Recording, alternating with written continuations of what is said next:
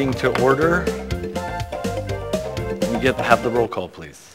Andre Spinelli, Here. Jared Gardner, Here. Radhika Krishna. Here. Jim Winchester, Here. Scott Pulis, Here. Brandy Eber. Here. Daniel George, Here. Greg Strike. Here. Jeff Ron will be calling in at about 7:30. I think you have a quorum. The first item is the minutes from Monday, November 6th and Thursday, November 16th. Is there a motion to approve the minutes?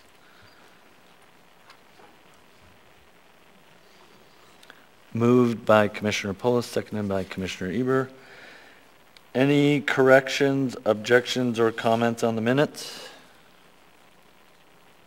Hearing none, those minutes are approved.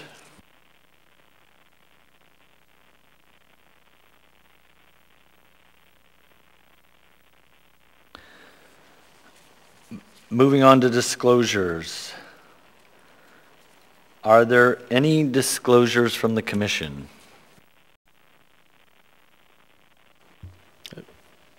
I was absent from the November meetings. I will abstain for participating in the consent agenda.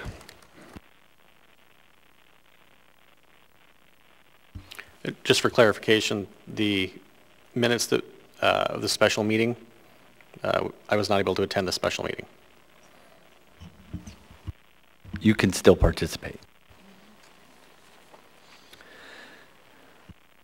Additional disclosures? You have the floor. Thank you. Uh, I'm not sure if it's uh, something that would prevent me from consideration, but I know we're taking up uh, multifamily uh, questions that I own a triplex and a fourplex here in Anchorage, for what it's worth.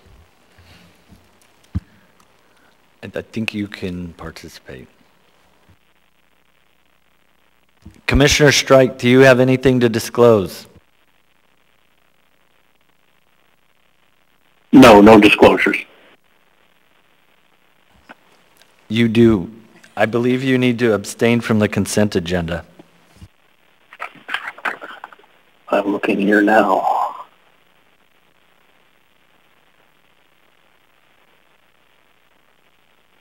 Stand corrected then. I will remove myself from the consent agenda discussion.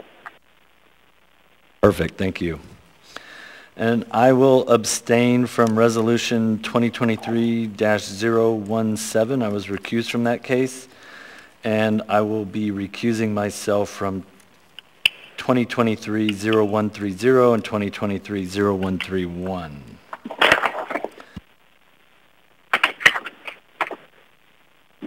Is there a motion to approve the consent agenda?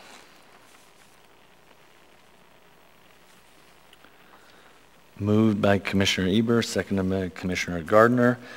Anyone wishing to pull any items from the consent agenda for discussion? Seeing none, hearing none, are there any objections to the approval of the consent agenda? Hearing none, consent agenda is approved.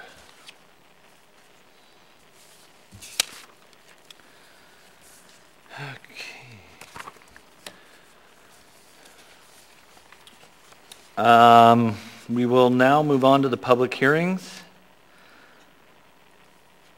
And I will read the process for which the public may testify.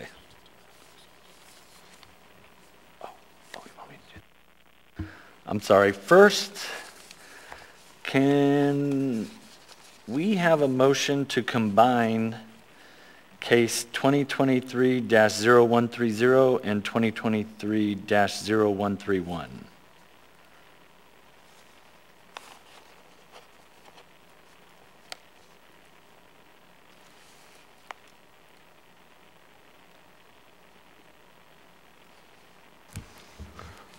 I move to combine public hearing items G2 2023-0130 and G3 2023-0131. Any discussion? Hearing none. Any objection? The agenda, the combining those cases is approved.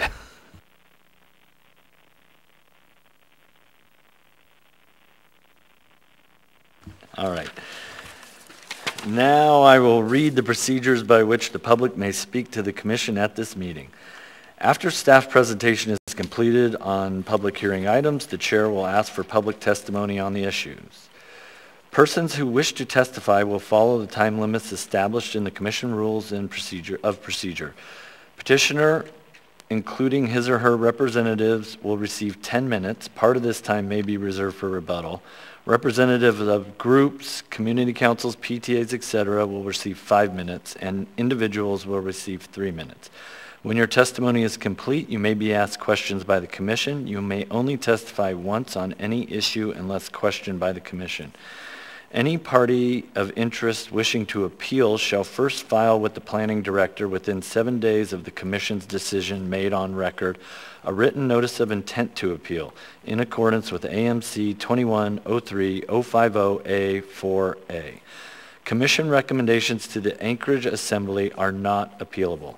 Following approval of the written findings of fact and decision, any party of interest may within 20 days file an appeal by filing a notice of appeal and paying the appeal fee and deposit in accordance with Section 2103050. The notice of appeal must be filed with the planning director on a form prescribed by the municipality. If the appellant, appellant is not the applicant, the appellant notice of appeal shall include proof of service on the applicant.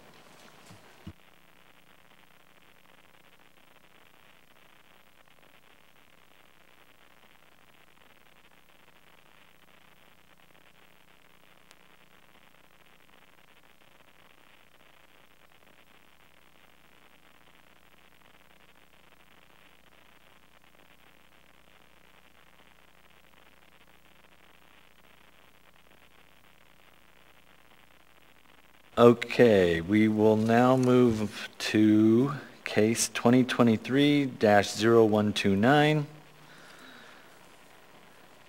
Can we please have staff's presentation? Thank you, Mr. Chair. This is a conditional use application for commercial food production in the B3, B3 General Business District. Commercial food production was permitted in the old zoning code, but a conditional use permit is required in the current zoning code. The site has a de facto conditional use permit for the 31,445 square foot warehouse or wholesale distribution since it was established under the old zoning code. Domino's Pizza is requesting conditional use approval for commercial food production for this existing commercial structure. This structure will, will require internal tenant improvements and two dock ramps to serve the existing overhead doors on the east side of the facility. These construction improvements will be handled through the building permit process. Once these improvements are completed, this facility will help Domino's meet the demand for its growing dough production. It is unable to do so at its current smaller location on King Street. A pre-application conference was held on September 26, 2023 in accordance with AMC 2103080C2. A community council meeting was held with the Taku Campbell Community Council on September 14, 2023 in accordance with AMC 2103080C3. 141 public hearing notices were mailed on November 7th, 2023. No responses were received from the public, and the Taku Campbell Community Council did not provide comments. There were no objections under municipal reviewing agencies uh, to the conditional use for commercial food production. Their comments are attached. The private development section stated no peripheral improvements are required at this time. Further development of this parcel may require peripheral improvements to Greenwood Street. MOA Traffic Department requested an updated site plan that shows existing current striping for employee parking and loading berths to confirm the site is compliant with accessible parking space requirements of AMC 2107090J. The Planning and Zoning Commission may approve a conditional use application if, in their judgment of the commission, all the following nine criteria criteria have been met in all material matters. Planning staff has found that all nine approval criteria have been met. There are no use-specific standards for commercial food production, therefore staff recommends approval subject to conditions one, two, and three on page seven of the staff packet. I can answer any questions that the commission may have, and the petitioner's representative is in attendance. Are there any questions for staff?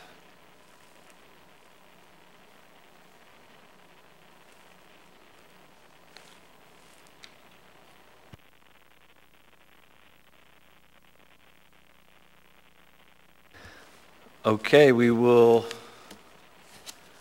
have the petitioner's presentation.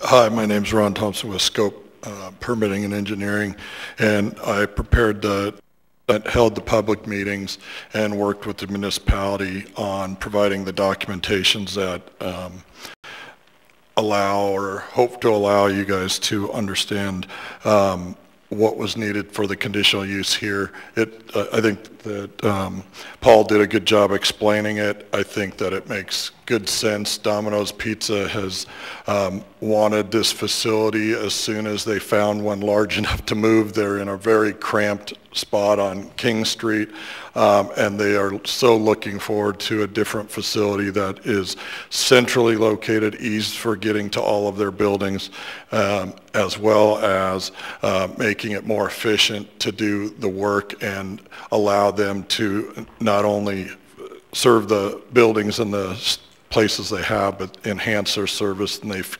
feel this would allow them ability to, to possibly even grow in our community. So um, I hope uh, I'll save the rest of my time for any rebuttal. You have eight minutes and 51 seconds. All right, we will open the hearing to public testimony. Is anyone here wishing to testify?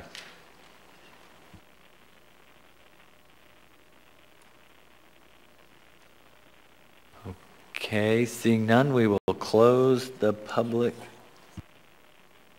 Would you want a rebuttal? Okay, we will close the public hearing.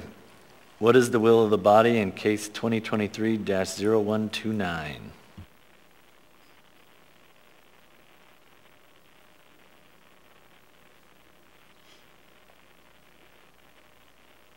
Uh, Motion by Commissioner Gardner, seconded by Commissioner Krishna. Ms- Commissioner Gardner, would you like to state your motion?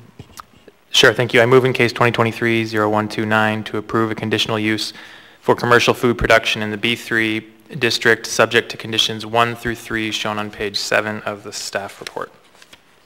Would you like to speak to the motion?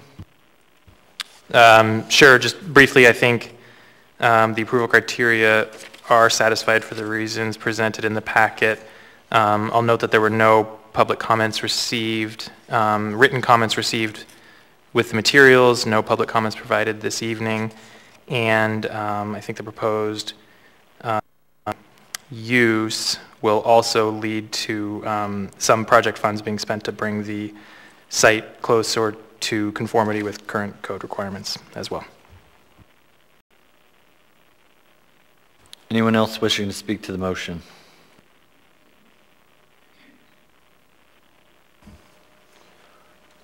Um, I intend to support the motion for the reasons that uh, Commissioner Gardner did. I just also want to add that it's, it's a great reuse of existing infrastructure. I know these types of properties are hard to find, so it's a good deal, I think, for, for Anchorage.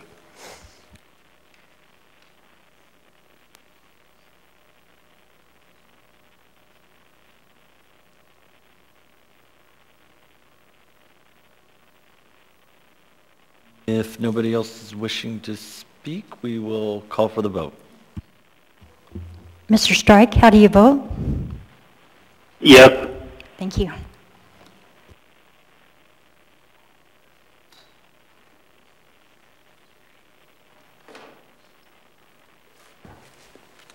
That motion passes.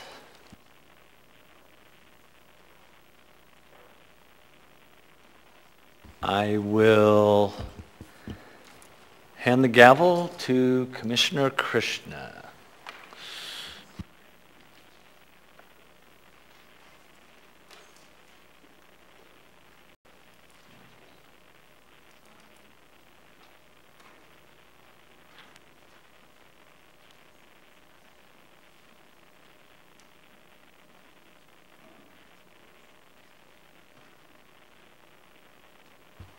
All right, we'll move on to cases 130 and 131. Um, May we have the staff report, please? Yes, thank you, Commissioner Krishna. Uh, Case 2023 2023-0130 is a request to change the Anchorage 2040 Land Use Plan land use designa- designation for one parcel to Main Street corridor with residential mixed-use growth supporting features. The plan currently designates the parcel as urban residential high with residential mixed-use growth supporting features. Case 2023-0131 uh, is then a request for a rezone uh, to amend the special limitations of the B3 district to allow for self-storage in mixed residential uses. Currently, the special limitations restrict uses to TV and radio stations. Uh, The comprehensive plan amendment is necessary for the rezoning to be supported by the comprehensive plan. The Planning Department recommends approval of both the comprehensive plan amendment and the rezoning. The site is not suitable for residential development as long as the existing communication towers are in place due to both safety concerns and potential interference with the signal transmission. The developer would like to construct a self-storage facility using garage condominiums on the site.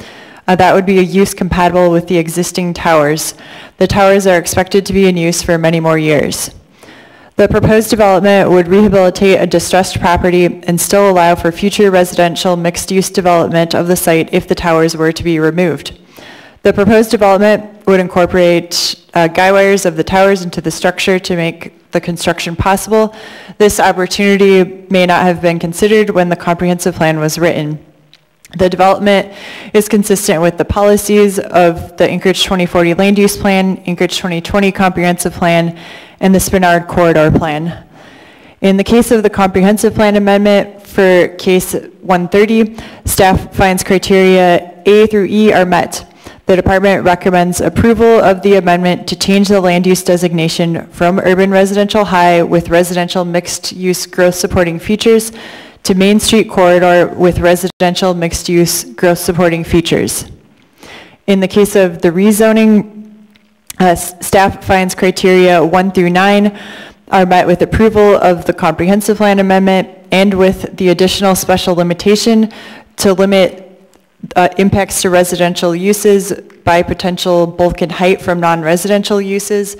Therefore, the department recommends approval for case 131 of the request to rezone the B3 SL, or rezone the property from B3 SL to revise the special limitations to add self-storage and residential mixed use as permitted uses, and to also add the following additional special limitation, that non-residential uses within the district shall be subject to the dimensional standards of the R3 district.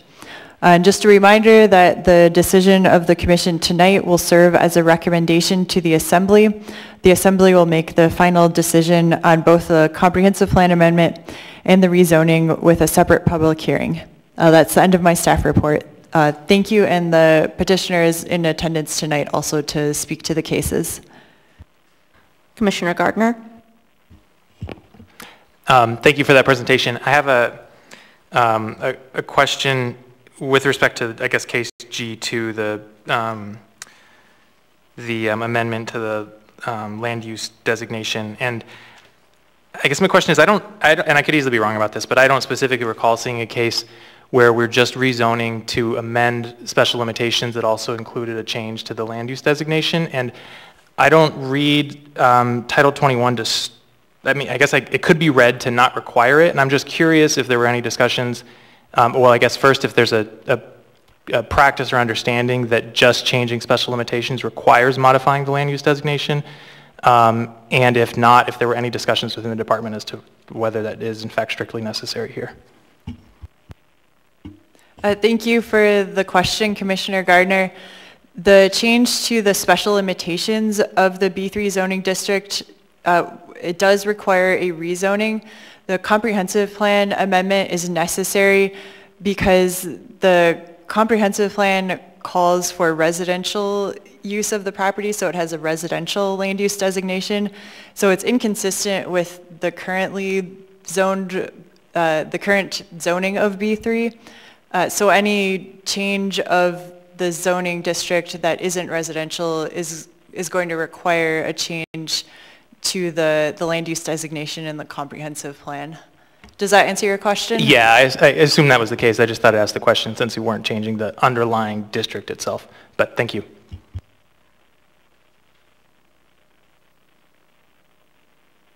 Are there any further questions for staff? Seeing none, uh, I think we'll hear from the petitioner, and your time will be doubled because these cases are combined, 20 minutes for um, your uh, speaking and for rebuttal. Thank you. Again, my name is Ron Thompson. I'm with Scope Permitting and Engineering. Um, Couple things that maybe we didn't um, point out so much in the, that staff didn't point out is the towers, part of the towers.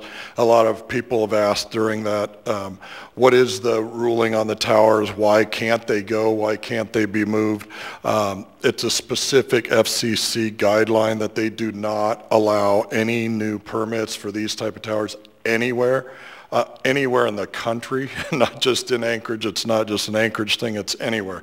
So these type of uh, facilities are now being try, uh, tried to be developed throughout different places around the country with buildings that can work with the towers, and we got to watch some of the uses with those. In this case, the underlying zoning had multifamily, high, high density um, living below, um, which uh, in talking with the owner uh, that runs these towers is the interference with the multiple level of Wi-Fi, the multiple level of cell phone activity in a high density living would definitely impact the tower's main function, therefore making it impractical.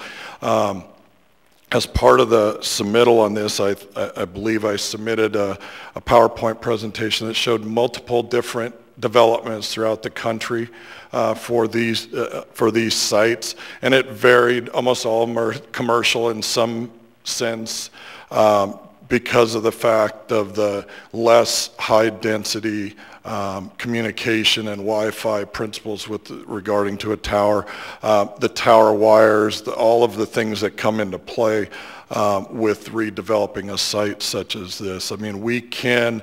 Um, I, I went to the community council. The community council seemed to be um, they, they, they wanted to know the question about the FCC and the towers themselves. That was the big question and there's Uh, the other one was, can this be, can we keep it housing? Uh, we worked that out through the municipality. They put that a guideline in their recommendation and we agreed to it that in the event that in the future, if these towers ever went away, I think it's a nice opportunity to have that zoning designation in there so we don't have to do this again. Uh, and, and we agreed to those stipulations that they added and the size um, agreement to the R3. So we felt very comfortable with, um, with the staff's review, the approval. We tried to do everything that we could to keep the, the um, thinking of what uses would work in an area with the, the traffic flow, the height of the buildings with the other buildings around the area, and that's why we chose um, that this seemed to be one of the best fits in the area for, uh, very similar to the height of the buildings.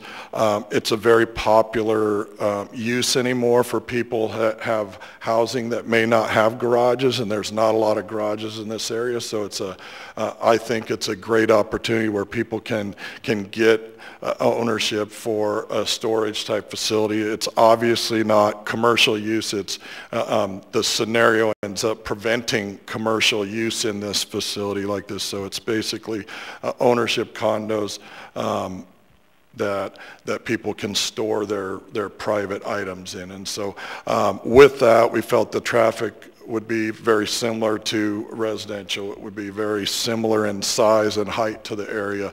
And so um, we feel like we did the due diligence to try to find a good use, a good use of the property, a good um, non-impactful, but also take a property that's been a, a somewhat of a nuisance and a lot of vagrants that have been cutting in through the fence and we have to chase out quite a bit.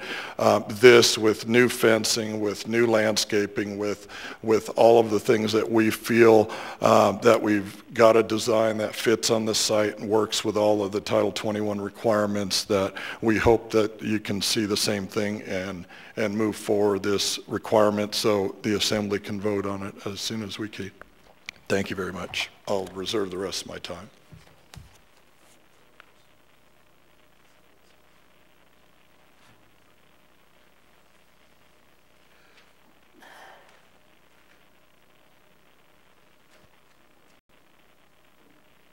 You've got 15 minutes and 31 seconds left.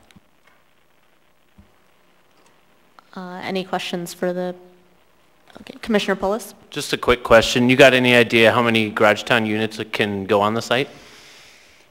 Did you guys do a range or something? Yeah, we had a plan. Um, I can't remember how many units there were, somewhere in the 60 to 80 range, if I remember right, something like that. But we tried to tend to not bring that forward because we didn't want to lock that down uh, based upon this action. Because if we did, then we'd be right back here doing an amendment to that. Um, So I can just say that the layout that we did was multiple buildings laid out in different directions with adequate traffic, adequate landscaping, adequate site obscuring fencing, all of the requirements that meet Title 21. So, And, and when I think of this site, I think of like the garage towns off of like, uh, what is it, Lake Otis in, At 79th? yeah, yeah. 79th Pretty and Lake similar. Otis, very similar kind of buildings, rectangular type buildings, yeah. Um, But, uh, you know, obviously they change in different locations. There's, there's multiple in town that are been um, going up. Some of them look different. Some of them are metal buildings, some of them are, are wood, some of them um, are, are tilt, uh, uh, wooden frames. So I don't know exactly which way we'll go with that. That kind of is dictated by the, the pricing and the, at the time of design.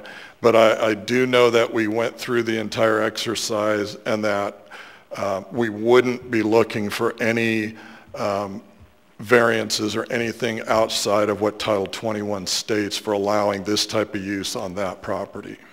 Thank you. Commissioner Eber? You mentioned that you looked at various other sites in the country to see what commercial uses that they had used, and I'm just curious, what other uses have been used on sites like this throughout the country? Uh, They have office buildings that have, have done, they've incorporated one into a mall structure, uh, into a commercial mall. Um, They're, most of them were commercial office type of space, not really high traffic, not high retail. But the, the only one that was kind of the retail was at the mall site, that it was in the back end and they were able to tie it to the mall and connect the guy wires into some of the structure. So most of it is, was um, office type spaces.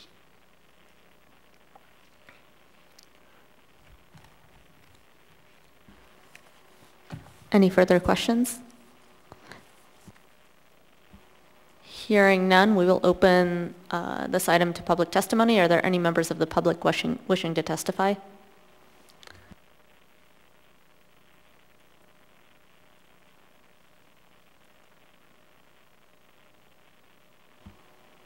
Seeing none, uh, would you like to make a rebuttal? The only comment that I'd like to say is, um, we also looked at, this site would not be a good site for office and business kind of uses in the middle of a, a neighborhood. And so um, that position was discussed about what would be good, and that was one of the ones that also didn't seem to be appropriate for this site, so.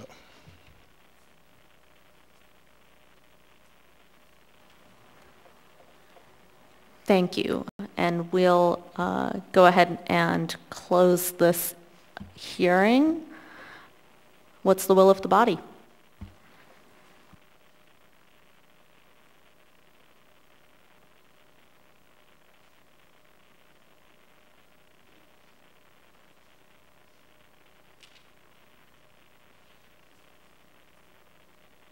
Moved by Commissioner Gardner. Commissioner Gardner, would you like to state your motion? Yes, thanks. I move in case 2023-0130 to recommend to the Anchorage Assembly approval of the amendment to the Anchorage 2040 Land Use Plan to change the land use designation from urban residential high with residential mixed-use growth supporting features to Main Street corridor with residential mixed-use growth supporting features. Seconded by Commissioner Eber. Commissioner Gardner, would you like to speak to your motion? Yes, thank you. Just briefly, I think the um, approval criteria are met for the reasons stated in the staff packet. Um, Specifically, I'll point out that um, I think the amendment is necessary to address a, um, a new opportunity not adequately addressed in the comprehensive plan. This site really isn't um, viable with the towers um, for any sort of residential use, and it's not really receiving any use at the moment. And I think this is a great opportunity to allow it to be developed, um, which this um, amendment is necessary for. I will also note that we received no public comments um, this evening, and I don't believe there were any public comments included in our packet. Would anyone else like to speak to this motion? Seeing no one, we'll call for a vote. Mr. Strike, how do you vote? Yes. Thank you. That motion passes. And now we have the second case, which I believe we have to vote on separately.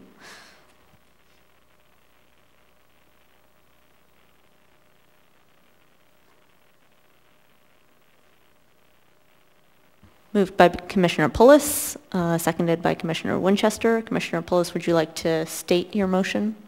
Yes, thank you. Uh, I move in case 2023-0131 to recommend the- to the Anchorage Assembly approval of the rezone of one property from B3SL, um, General Business with Special Limitations District, to revise the special limitations to add self-storage and residential mixed use as permitted uses, and to add non-residential uses with the district shall be subject to the dimensional standards of the R3 district as an additional special limitation. Would you like to speak to your motion? Yes, I would. Um, It meets all the requirements as stated in the packet. Um, The applicant actually stated they would meet uh, the Title 21 and 23 requirements without a variance, most likely. Um, We heard no public opposition. Um, They had a good informative PI process, um, and it also retains the additional ability for future residential use, so I intend to support the motion. Would anyone else like to speak to this motion? Seeing no one, we will call for a vote. Mr. Strike, how do you vote? Yes. Thank you.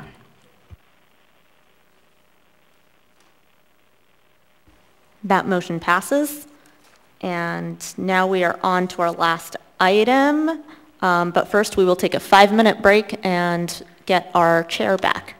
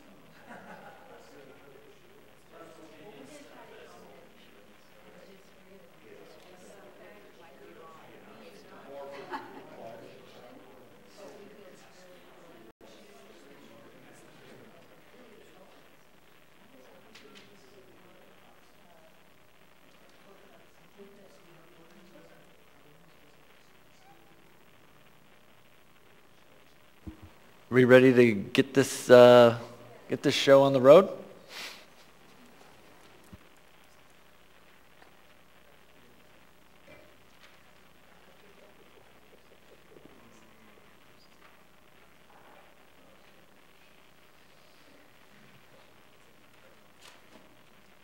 Okay. Can we have staff presentation on case 2023-0127? Um, Through the chair, uh, the is going to make and be making the presentation on um, this case, uh, but I would like to point out that um, we received uh, public comments uh, after the packet went out, and that's in uh, the supplementary packet number one for G4. Um, Also, um, the, the app, um, the Assembly sent us a revised version of the ordinance, and that's in a a memo that was uh, um, sent out to you and um, left for the public at the, at the entrance as well. Thank you.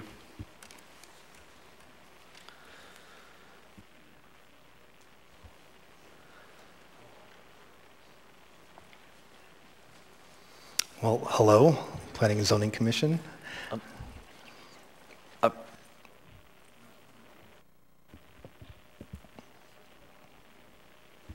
We will have the petitioner's presentation, please. So I think I don't have the little clicker button anymore, and I think um, Legislative Services is no longer here, but I was just going to give like a high-level overview. Name first. Assembly Member Volland, Daniel Volland. Um, so, um, yeah, what I'll say is um, really the overarching goal of this ordinance is to make it so that in residential zones, as well as a few commercial zones, we would be able to treat triplex and fourplex more in line with how we treat single-family and duplex development. Um, The largest change that this ordinance would make is a reduction of the minimum lot size in R2M to 6,000 square feet. Um, It also amends the side setback for triplex and fourplex to be uh, five feet instead of 10 feet in those residential zones. Um, There's a couple things that I do want to clarify. Uh, The intent of the sponsors really is that this would impact R2M, R3, R3A, R4, and R4A. Um, In the supplementary packet that you were sent um, with the S version, there are a, a couple things that I think need correction, and I just want to point those out. Um, One would be, there's a Volland Amendment Number One attached. So I will not be moving that. This this was something that was drafted, I think, as a misunderstanding between myself and Assembly Counsel. Um, The um, Amendment 1 here um, looks to make triplex and fourplex a permitted use in R2A and R2D. Um, My perspective is that that would not be consistent with the 2040 land use plan um, because R2D and R2A are included in single and two-family uh, land use designation. So um, we did look at, at one point at could you have multiple structures on a lot in R2D and R2A? Um, so for instance, could you have a detached duplex where you have two um, primary dwellings that are the same size? I think that's an interesting question um, for contemplation and would, and would welcome recommendations from your commission on that. But I don't think that we want to put um, triplex and fourplex in those zonings that are really meant to be uh, duplex neighborhoods. Um, and then there's two tables here of allowed uses, two different exhibits. And one has the circles on it, so that's Exhibit A. I think it says, I'm, I'm guessing that means revised one. Um, and so where you see R2A and R2D um, being an administrative site plan review, um, that I do not believe is the, the intent of the sponsors. It should just, again, start in R2M with that, I, I, think you guys have kind of heard the presentation on the ordinance, and um, I would welcome any questions.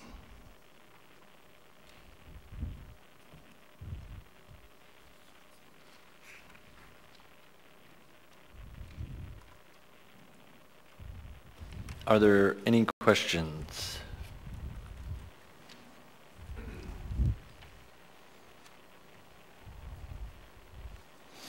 Uh, If I could actually, Mr. Chair, speak to one more thing. Amendment number two, and this is, I do want to clarify from the, from the earlier presentation as well.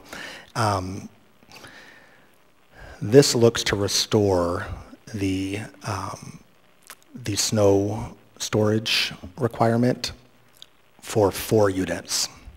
Um, I misspoke earlier, and currently, um, the snow storage um, exempted from it are single-family, two-family, and three-unit multifamily. Um, and this, the co-sponsors are comfortable with restoring that requirement for four units and up.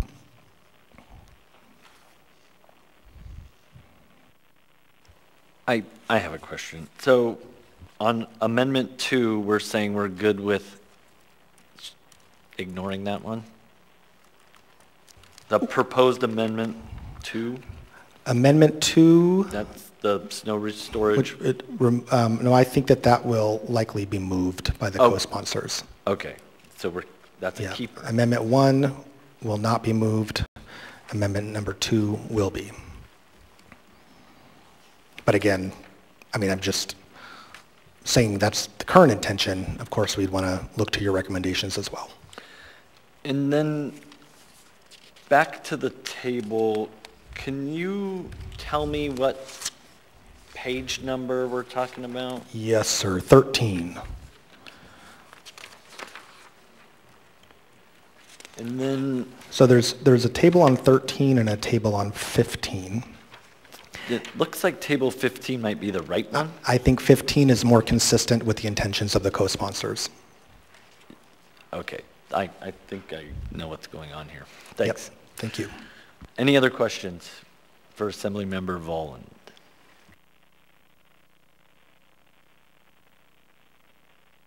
You have six minutes for rebuttal, and we will move to the public hearing.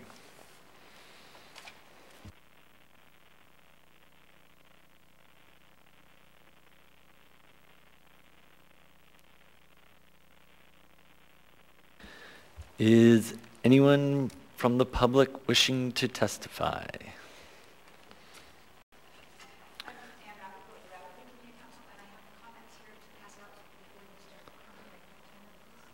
Thank you, and if you could just restate your name in the microphone when you're ready, that would be great.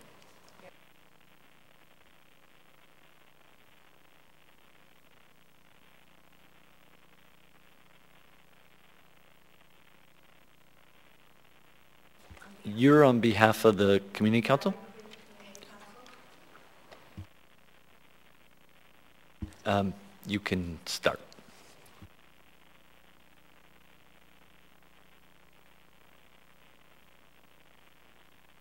Well, oh, sorry.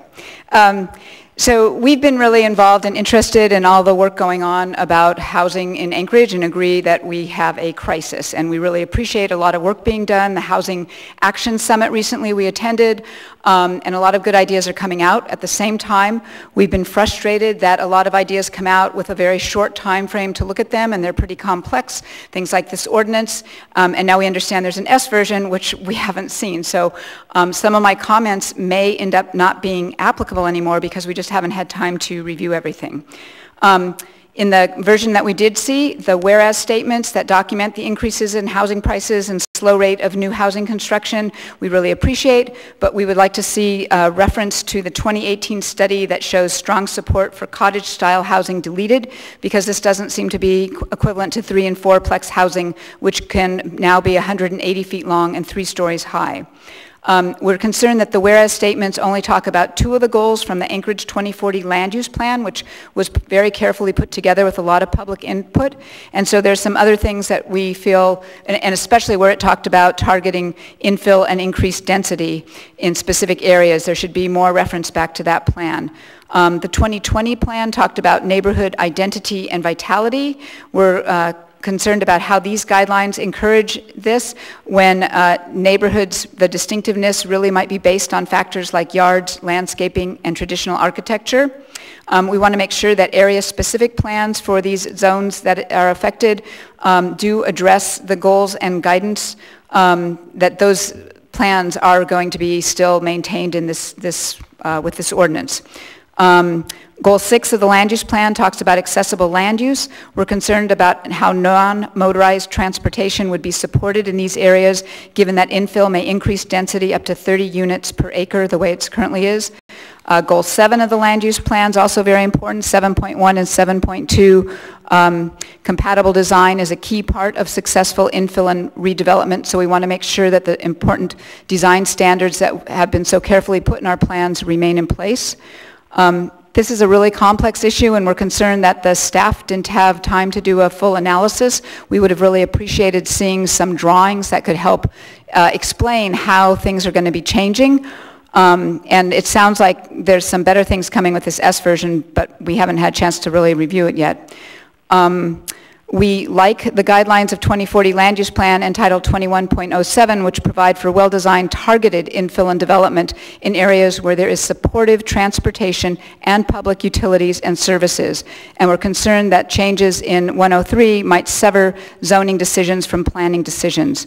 Um, we do agree with the version that the future density uh, might be up to 30 uh, dwelling units in R2M, but we don't like the fix the planning staff suggested that they just change that to, to um, be fewer units because it doesn't recognize ADUs, which are now allowed. And so it seems that that's a density calculation that is not really accounted for in this um, ordinance, and it should be. So we agree with the staff report to remove the um, dwelling small multifamily as a new use based on the explanation of overlapping definitions. Um, we were glad to hear about the snow storage area now being retained. Uh, it wasn't in that earlier version. We want to retain the marine commercial distinct district for non-residential uses. We want to retain standards relative to landscaping because these will help hide increased density by providing a more appealing outside appearance. And we heard a lot about that at the Housing Action Week from the Strong Towns Charles Marohn. Um, we would recommend that side setbacks be kept at 10 feet rather than being decreased because that will help uh, remain maintain the access to daylight and sunlight and provide privacy, which is valued in neighborhoods. Um, we advocate targeted density, as I said, so it can be supported by upgraded infrastructure and public services. And we would hope that the staff recommendations that remove conflicts uh, now seen with the planning code are fixed and um, that we retain design and setback requirements to create attractive, desirable, and distinctive neighborhoods. Um, and we want to make sure that that one uh, segment, which is listed in our, I won't give you all the numbers, so that ADUs be counted in density calculations. And thank you for uh, attention to our concerns. And it just seems like there needs to be a little bit more time for people to really evaluate and uh, understand this and before it's really put forward final. Thank you. Um, yeah, your time is up. Um, I do have one question for you, but I will make a comment that this is a recommendation from the Assembly. It's here almost as a formality, and there will be another public hearing at the Assembly, so there's, there's more time. Um, are there any questions from the Commission? I, I just had uh, one question on your uh, statement on side yards. In the R2M, you can build a large duplex with a five-foot setback. If you were building, say, a smaller building, but with four units, do you still think that the side yard setback should be increased to 10 feet just because there's four units, even though the building might be smaller? You know, that's a, a, really good question, and I was thinking about as we're going through this that we talk about lot size, but we don't talk about building sizes for the three and four plexes, and I'm wondering whether maybe that should be part of what ultimately comes out here to consider that. And, and so maybe, um, yeah, if it's a smaller building, uh, a little smaller setback might be appropriate. But depending on how high it is and um, how, because one thing is I think this is going to increase, building sizes can increase from 150 feet to 180 feet. Um, So then you're taking up a lot more of the lot size. So that's perhaps one um, aspect that should be added into this somehow. Uh, And I think that the assembly is having those conversations. We heard some of this in the work session, so I think that those will come out. But Right. And, and perhaps, uh, um, I think the planning staff might have some really good ideas about that. They've been working with these buildings for a long time. Okay, we have another um, question from Commissioner George. Uh, Good evening, Ms. Rappaport. Thank you for uh, presenting this evening and for providing this letter from the Community Council. Um, I guess maybe this is more of a Community Council-specific question, but um, what we're being tasked with here and contemplating is modifying things like side setbacks in an entire zoning district and reducing it potentially for future development. Um, From a community perspective, um, it would seem that the setbacks between properties, particularly multifamily properties um, being reduced might change the characteristic of a neighborhood. And I know in Rabbit Creek you have many homes that are not five or 10 feet apart from one another.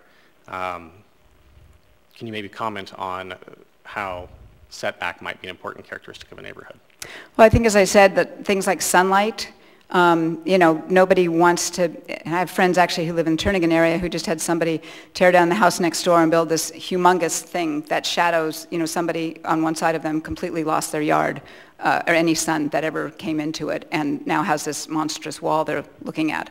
So um, that, that's where your neighborhood uh, characteristics come into play, and you want things to look attractive. And, and a lot of it could be the design eventually of whoever does it. You know, if they build a huge square thing, it's not very attractive. If you do it where you have um, walls that are in and set in and out, it, a building can look more attractive and maybe be the same size.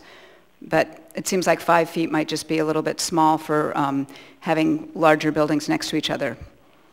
And And, and again, the lot thing, I mean, the whole offset, because if it's, if it's taken up the whole lot, that's one thing. If it's, you've got them staggered, maybe front and back, you can uh, somehow give more sunshine to everybody and space.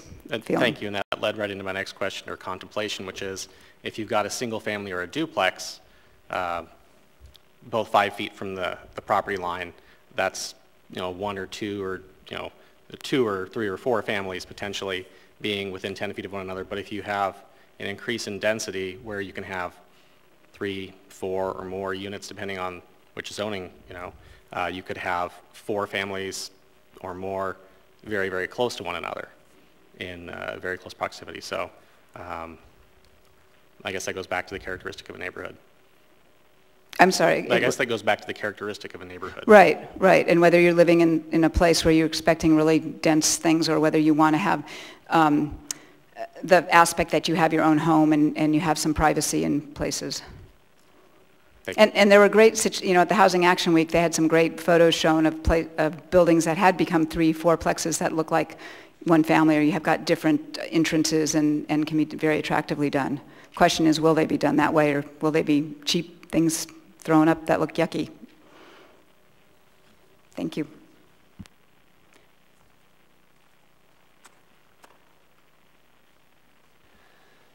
Anyone else wishing to testify?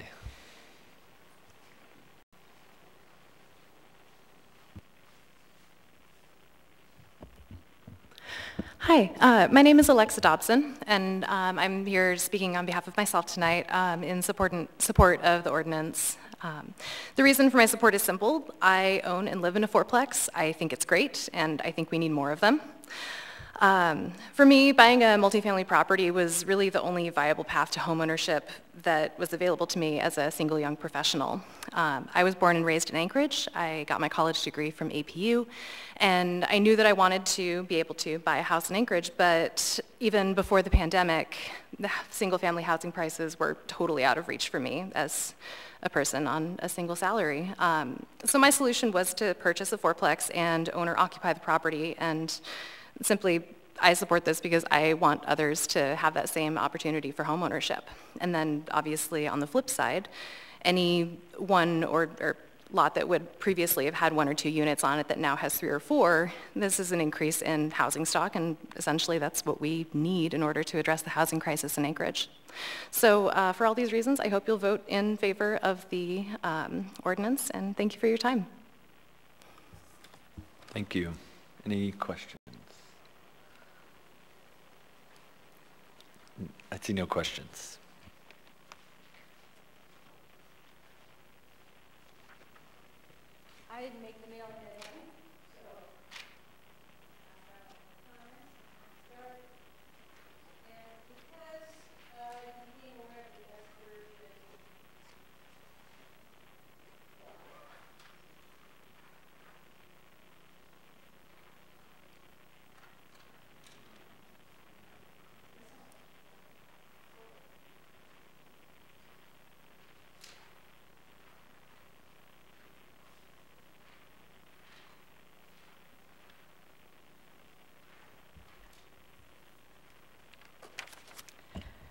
Hi, my name is Nancy Pease. I'm speaking on my own behalf this evening. Some of what I put before you is outdated or inapplicable because I also did not know there would be an S version laid before you today. Um, I think it was the chair who said this is a formality, but I ask you to rethink that. You're the Planning and Zoning Commission, and it's important that this not be just rezoning, but that it be fully compatible with our plans and that we have a process a planning process that involves people like me and the community councils. So I have four points. Um, first, the lack of public access to illustrated examples and graphics and analysis and the last minute S version have made it pretty impossible for community councils and people like me to make informed comments. And that's what we should be bringing to is informed comments. There were no comments on the earlier version, and it's, it's probably no surprise, and there are very few people here tonight. Um, second point, I'm glad to hear that the S version doesn't introduce these three and four plexes into the R2A and the R2D because the work hasn't been done for that expansion. I am generally in favor of one intent of the ordinance, which is to remove obstacles to developing three and four plexes where they're already intended. But I oppose the expansion of those uh, units wholesale into R2A and R2D um, because there hasn't been the analysis to show how that shift would work with the community, and specifically how that shift would work with our adopted plans. And we have um, Anchorage 2040 Land Use Plan Goal 6, which calls for accessible land use and, and requires us to plan transportation together with denser development. And we have um, Land Use Plan Goal 7, which talks about accommodating and contributing to the character, scale, and identity of established neighborhoods. Again, the, if the S version isn't moving into the 2, R2A and the R2D, that's not quite so much of a concern, but it is something that we should always be looking at. Are we, meet, are we at least addressing all the goals? We can't meet every goal with every ordinance, but we shouldn't work contrary to any of the goals is, is, is one, I think, approach to take. Um, just really quickly, as we move forward, I like, would like to ask that we have a different accounting technique for densities. Let's look at the true densities at full build-out by including accessory dwelling units in the density calculations. That's not the subject of this amendment, but as planners, I urge you to consider the importance of doing that.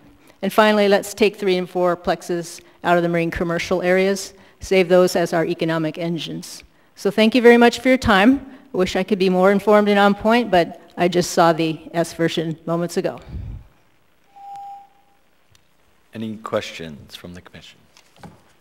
We have a question from Commissioner Gardner.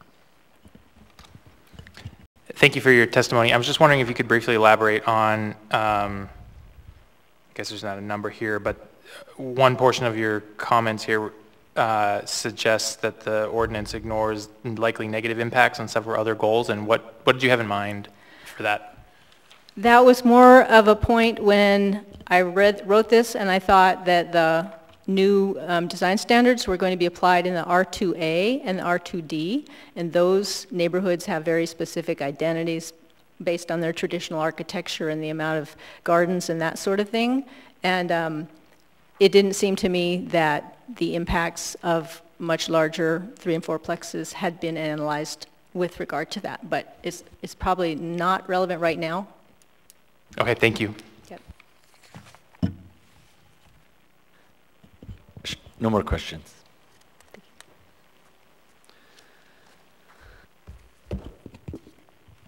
Hi, I'm Eric Visser. I'm a builder here in Anchorage. I'm testifying on behalf of myself tonight.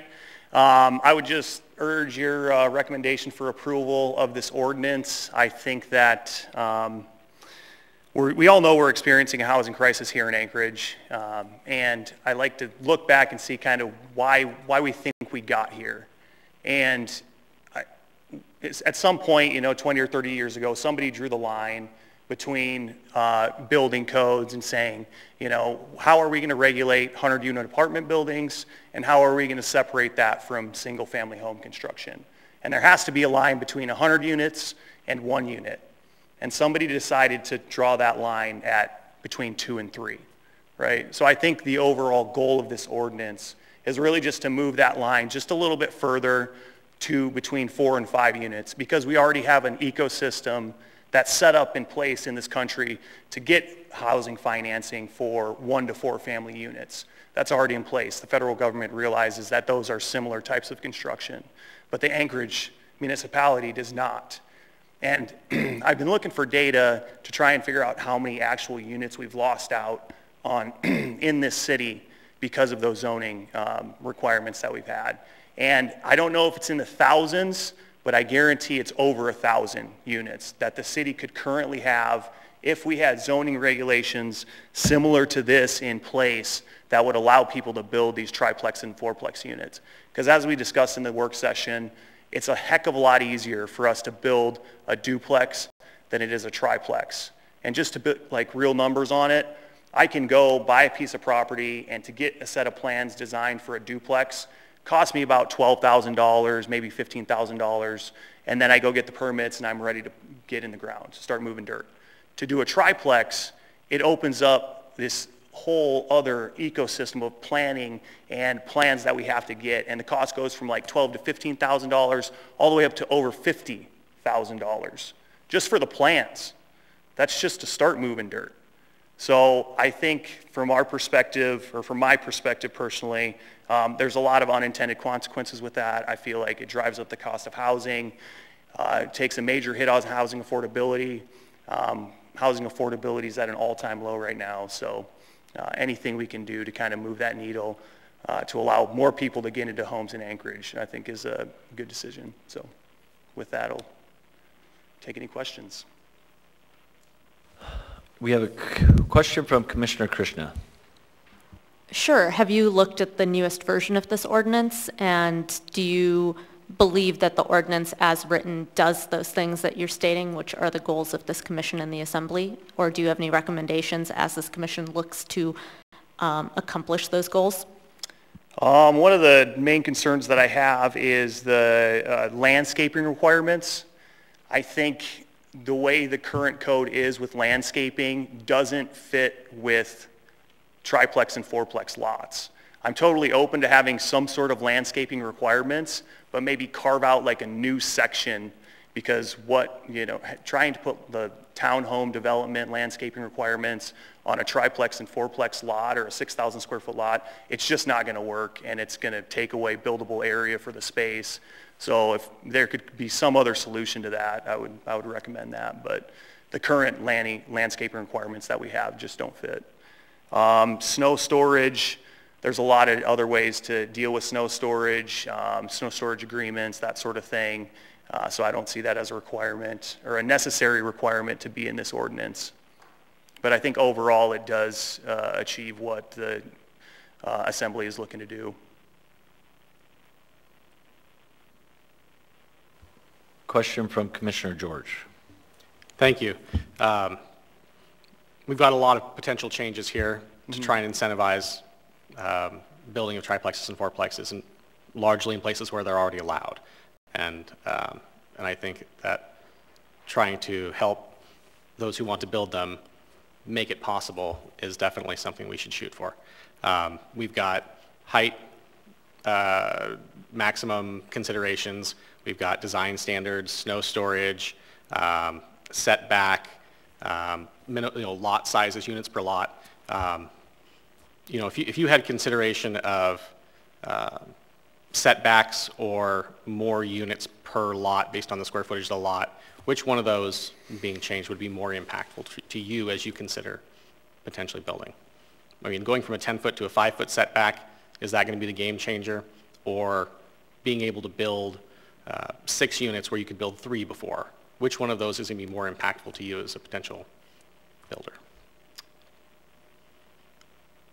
I, uh, I guess I would say it's more of the permitting requirements that are imposed on triplexes and fourplexes rather than the setbacks or the number of units that are allowed.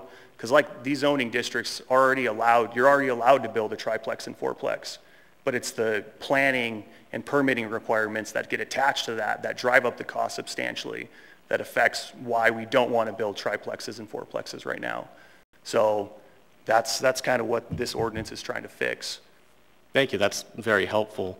You know, as, as we look at all of these um, that have the potential to, you know, change the characteristic of a neighborhood, um, if it's the permitting requirements and the standards and that sort of thing that are really the most impactful, um, you know, we, we've got to consider each of these elements. Are all of them all necessary to make this happen? Or is it simpler? You know, because we've got a pretty significant wide uh, array of changes in front of us. So Mhm. um, for some who can, you know, maybe you're having a hard time swallowing all this at once. Yeah. And we just want to see these three and fourplexes be built where they're supposed to be built, or where they were originally contemplated to be built.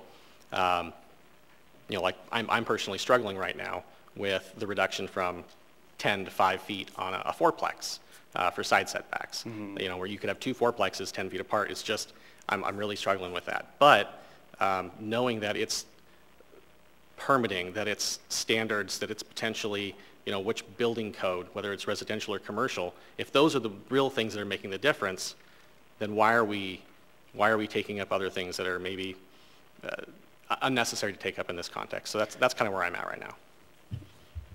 Well, I think some of these changes are required to change how these things get permitted. Um, But thinking about just, if you have a 6,000 square foot lot, the size of a duplex that you could put on it, you know, you can put the same size duplex as you could a same size fourplex. And that's, I think, what a lot of the discussions that we had previous to this is that you, yes, you are going, you, you are going to build more units, but you can't physically build four 2,000 square foot units on a 6,000 square foot lot. It's going to be virtually impossible to do that. So you're going to have to create smaller units, which will in turn have, give you similarities between the mass that you had in a duplex building and the mass that you have in a fourplex building on a 6,000 square foot lot. So I guess from a builder's perspective, those things are going to start looking pretty much the same when this is allowed. And it's just, they're going to be allowed because it's going to be cheaper for us to build them. That's what's going to create these units. Thank you. See no more questions. Anyone else wishing to testify?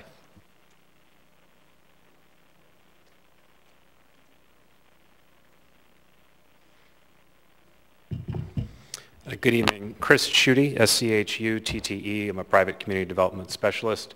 Um, I was fortunate to join the municipal staff, assembly members, and other volunteers over the past six months to work on this issue. Um, Thank you to the department and the assembly sponsors for proposing an ordinance that will streamline and simplify residential development codes, making multifamily townhouse developments with less than five units, although that is kind of a mouthful, uh, more feasible and more attainable in Anchorage. Uh, These code changes will be tools that designers and builders can begin using immediately, thanks to the effective date uh, firmly set at January 1st. We started down this road because while three and four unit residential projects do qualify for residential financing, what you find is that anything larger than a duplex is permitted by the municipality as a commercial development, setting in host a whole, uh, setting in motion a whole host of other reviews and other permitting requirements that ultimately make a triplex and a and a fourplex feel much more like a 300 unit apartment building. But even before projects come to the municipality to be permitted, the underlying zoning requirements for things like setbacks and minimum lot size already limit what, uh, where three and four unit residential buildings uh, are allowed. And as a result, we rarely see any of them built. We started this project by asking a question, is it possible to treat three and four unit residential buildings like we treat single family and duplexes? We looked at zoning changes that have happened across the country in other cities, specifically focusing on Memphis, Tennessee, and what they've done to treat up to six unit residential buildings as single family. Building from the best practices that we drew from other communities and the expertise of staff and community uh, development volunteers, this ordinance gets us closer to that vision. That being said, there are still code-related uh, issues that will potentially inhibit the creation of new three and four unit residential buildings. For example, uh, this does not allow three and four units in all our districts, as you heard earlier, um, nor does it address some of the uh, most expensive prohibitions that exist in the design criteria manual as it relates to drainage. Um, as other uh, uh, testifiers have commented, there is a lot of moving parts and pieces, so some of my comments may already be out of date but I wanted to suggest um, a couple of corrections or amendments. Number one, uh, the amendment, second amendment that is now removing the snow storage, or I guess reinstating the snow storage requirement for fourplexes and above. Um, I would encourage the commission to consider retaining the original language that did exempt three and four unit residential buildings from snow storage. And though it's beyond the scope of the resolution, if the commission could make some sort of statement about the importance of changing DCM Chapter 2, specifically Section 3.3.1.2, uh, to uh, lift the uh, requirements that befall developments of three and four plexes uh, that put them in the same design, uh, sorry, the same uh, drainage standards as large buildings and large structures, um, that would be very helpful. Overall, these code changes are thoughtful and helpful and will be very valuable in, in encouraging housing unit production. Thank you. Would you like to restate the code section of the DCM that you just rattled off? Sure, I'm happy to. Um, it's from uh, DCM Chapter 2, which deals with drainage.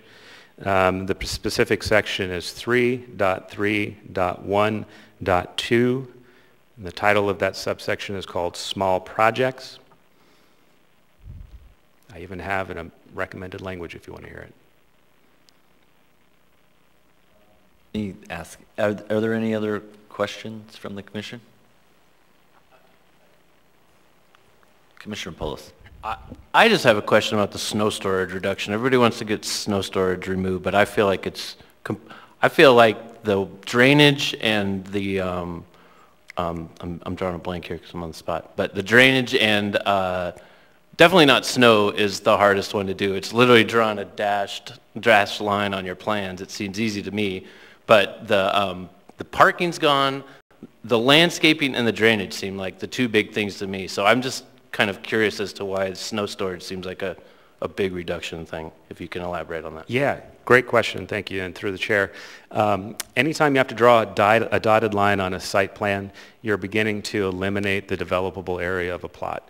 And so in the spirit of encouraging triplexes and four, or I guess fourplexes on a variety of sized parcels in Anchorage where they, uh, they may not have the adequate size to provide enough snow storage and create a fourplex of moderately sized units that are marketable. Um, so we just felt that uh, allowing each site to deal with snow removal and snow retainage in its own way without requiring it to go through uh, the development of a site plan that, that, draws that dotted line and removes significant portions of the overall developable land uh, would be a, a better way to get towards that goal.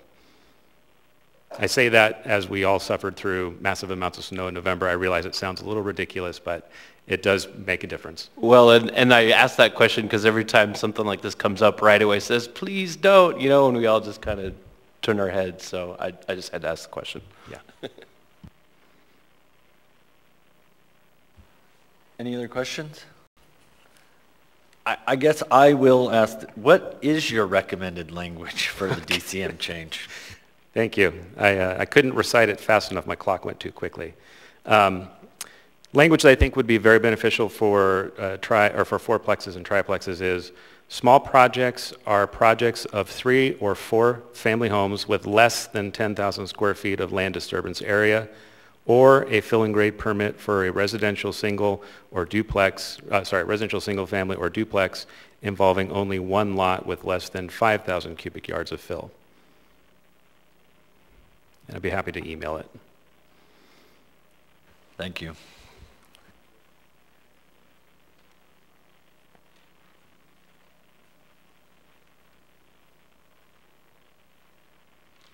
Anybody else wishing to testify?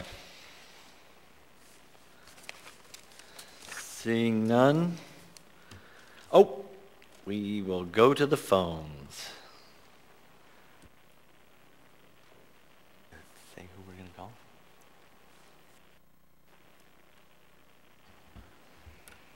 You want to start with Diane Holmes?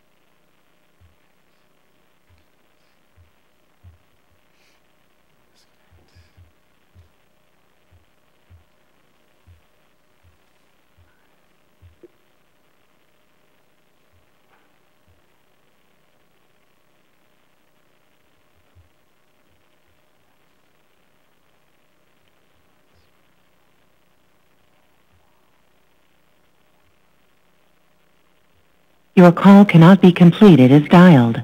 Please consult your directory and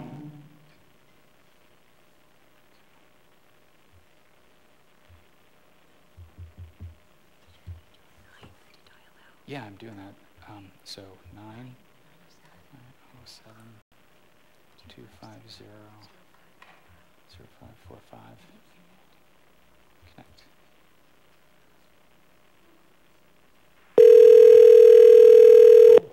Thank you. Save me.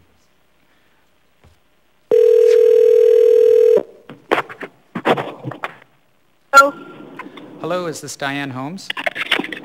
Yes. Hi, Diane. Um, This is the Planning and Zoning Commission calling for public testimony in case 2023-0127. Are you testifying as an individual or uh, as a representative of a group? No, um, I'm speaking for myself tonight. Okay. Um, You have uh, three minutes to testify. Would you please uh, state your full name, and then you may begin? Hi, I'm Diane Holmes.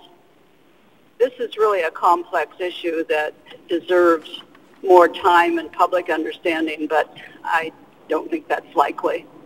Um, I am in favor of allowing three and four plexes to be removed from commercial building codes, but with the following conditions. Infill where designated in 2040 and where public utilities and infrastructure exist.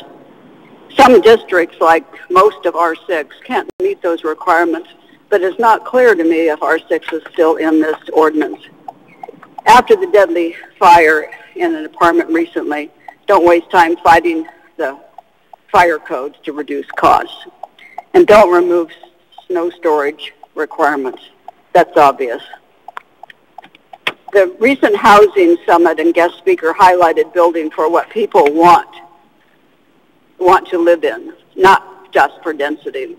So I believe 6,000 square feet lots are too small for three and four plexes. And landscaping is a big part of what makes a city decent, so don't delete that requirement and consider keeping warranty guarantees. Think of Industry Way and Huffman Business Park. In a minimal space, it is one of the most beautiful short drives. Some have asked what the difference is between a single family versus a three or fourplex on the same lot, size lot. And I can tell you that three or four families versus one bring different views of safety and usage to the table. And that's why safety can't be compromised. I believe side setbacks are a safety feature and should not be deleted. Over the years, industrial lands have been reduced or used for other purposes, and Anchorage is poor for that. Regarding the Marine Commercial District, which I didn't even know we had, staff recommends prohibiting three and fourplexes, and I agree. In the quest to build more housing, let's not go back to the 60s and 70s where codes were pretty much whoever was holding the hammer. Let's build something where you would want to live. Finally, please read the very detailed Rabbit Creek Community Council comments with their support for this AO, though with targeted infill for 2040, with needed corrections to some whereas statements, other 2040 in- inconsistencies and disagreement with the general R24 density increase, and the, especially the need for density calculations to include ADUs, which I totally agree with. They should be included. Thank you. I have a question from Commissioner Krishna. Uh, More of a comment. Uh, Ms. Holmes, I just want to inform you that R6 is not included in this version of the ordinance, and to let you know that there'll be another opportunity to comment before the assembly. Thank you for your comments. Thank you, and I'm glad for that clarification because this is really complex.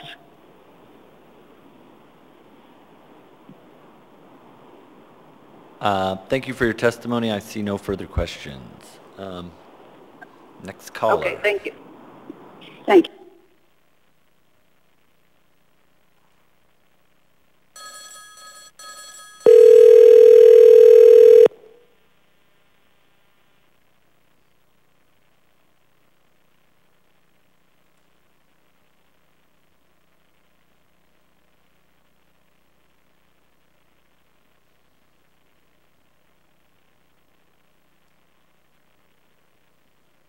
Your call cannot be completed as dialed. Please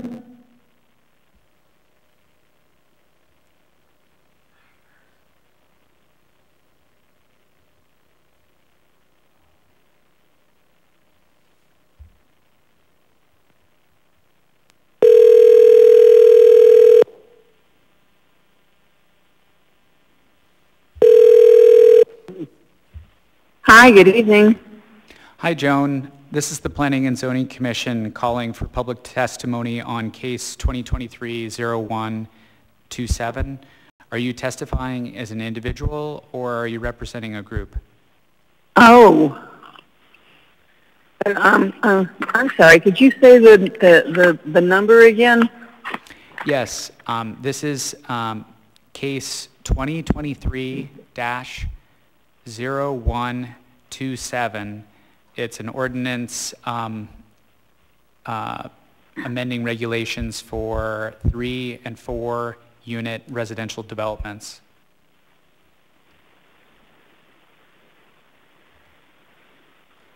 Hold on.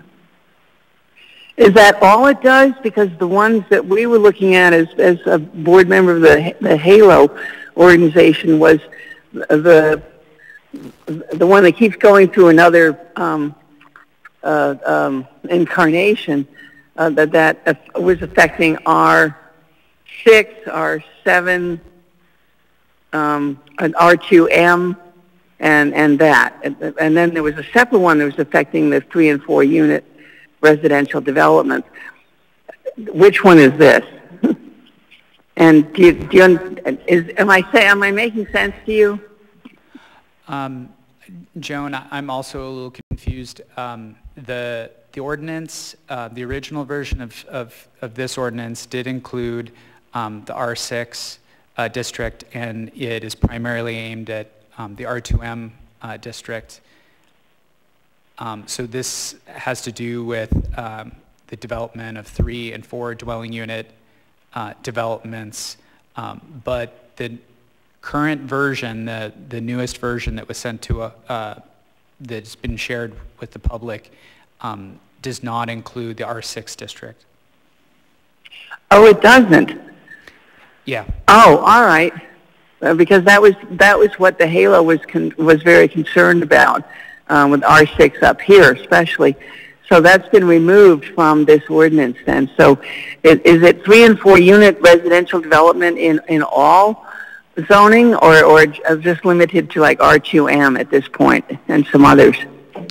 Um, I, it's limited to the R2 districts. However, I, I think that um, we should probably stop discussing this and um, you should um, explain your prepared uh, comments on the case regardless of now that we know we're talking about the right case, I think you should share your comments um, so that they can be uh, recorded. Even though R6 has been removed? Yes, I think that uh, you should still uh, testify even if um, those comments might be dated um, because this is your sort of one shot at doing that in front of the commission, the planning and zoning. Yeah, Commission. right, right. Well, you never know. They could they could always add it back in. All right. Um, uh, um, hold on. Let me take my jacket off here. Um, certainly, I, I would be happy to testify. Um, you have uh, three minutes to testify, and uh, please state your name. You may begin. Yes, certainly. Um, good evening, folks. Uh, this is Joan Priestley, last name spelled P-R-I-E-S, like in Sam, T-L-E-Y, and I am a resident of the South Anchorage area, the Hillside District specifically. Um, even though the, the R6 zoning has been removed from the most recent incarnation of this ordinance, um, I, it was it has been suggested to me that I should deliver my original testimony. Uh, even so, it would be good to get this on the record because you never know when these other zones are going to be re-included, uh, especially R6.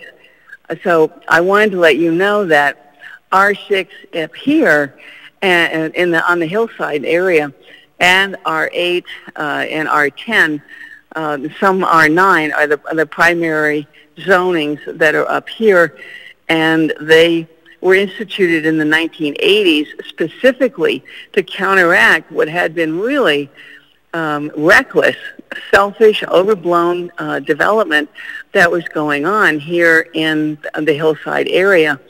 Uh, it was a, a several-year process and with a lot of citizen input.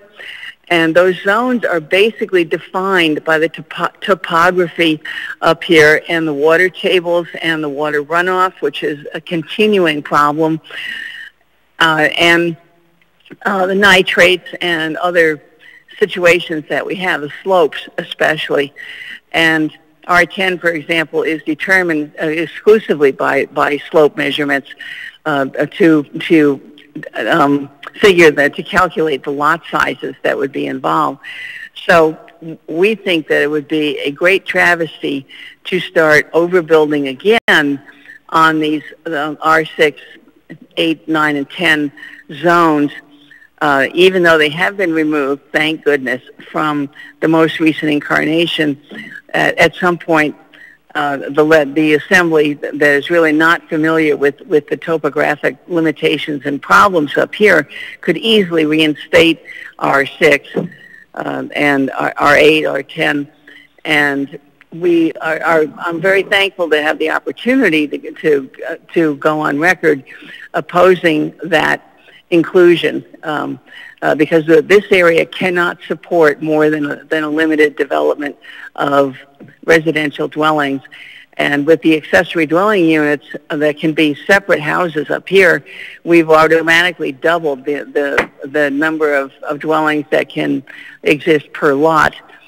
Um, and that is going to, inc- to incur severe runoff problems uh, even more so than than we have here. There are a lot of water problems with with uh, uh, drainage and, and, and runoff and seepage, uh, and including R6 uh, in, in an area uh, that that can support three and four units. I, thank you. Uh, ignores the reality of, of our, our our land up here. Thank your, you. Your time is up, Ms. Priestley. Thank you. Yes, thank you so much. Um, I do have one question for you. Given that we have well and septic permitting standards in the city of Anchorage and knowing that you couldn't build buildings on, say, an R6 lot,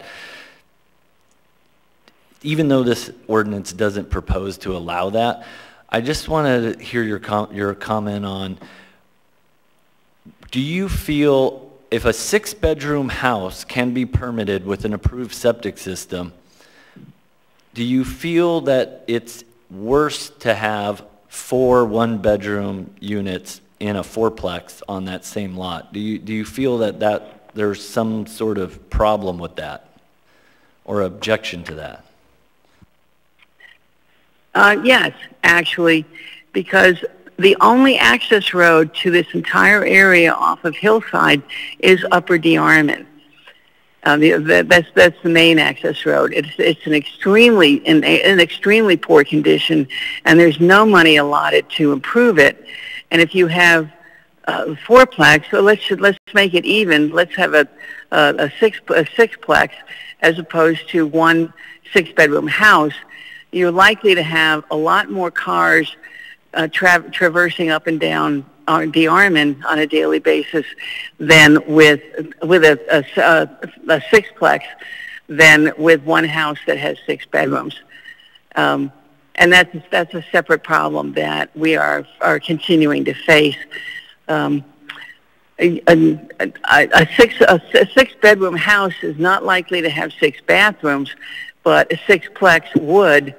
So you're you're increasing the the water usage by by not an exponential amount, but far more that by putting in more units, even though there's the same number of bedrooms.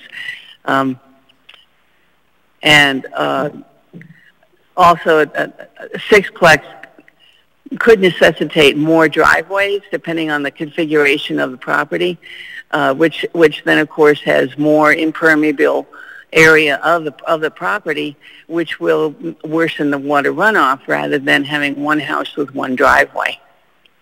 Okay, thank you. No further questions. I, I see no further Mhm. questions. That was a good question. Thank you very much. Thank you, Joan. Good night. hmm Thank you. Anybody else wishing to testify before we close the public hearing? Seeing none, we will now allow for rebuttal.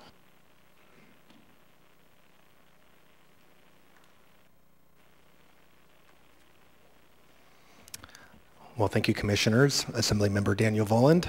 Um, this has been a great discussion, and I appreciate a lot of the public testimony that we've heard tonight. Um, I think all I will say in rebuttal is I, I would love to answer Commissioner George's question about sort of which is the bigger game changer. And, and I don't think it's the setbacks, frankly. I think that the big game changer is the reduction of the lot size in R2M uh, because that will free up just over 3,700 lots to have the potential for development or redevelopment to triplex or fourplex, so adding those infill units. And I think that's all I have. Thank you very much for hearing us tonight. I do have a question from Commissioner Krishna. Yeah, there's been some confusion about the districts. Could you clarify whether the table on page 13 of our packet or 15 of our packet is the one that's uh, moving forward?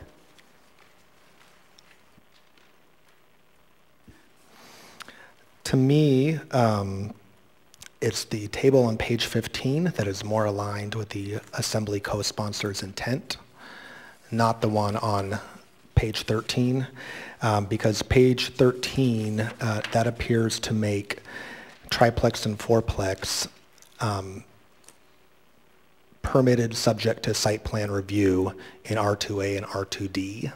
Um, and as I clarified previously, it is not the intent of the Assembly co-sponsors to allow triplex and fourplex where they are not already allowed. Thank you. Question from Commissioner Eber.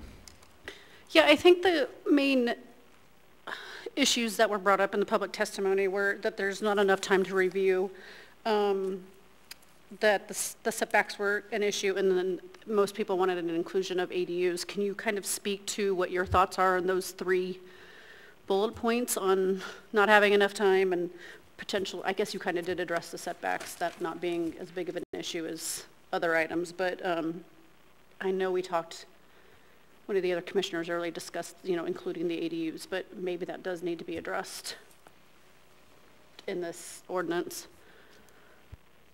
The three, um, say them one more time, there's the setbacks, the ADUs. and And not enough time for the public to kind of Um, review the new S version.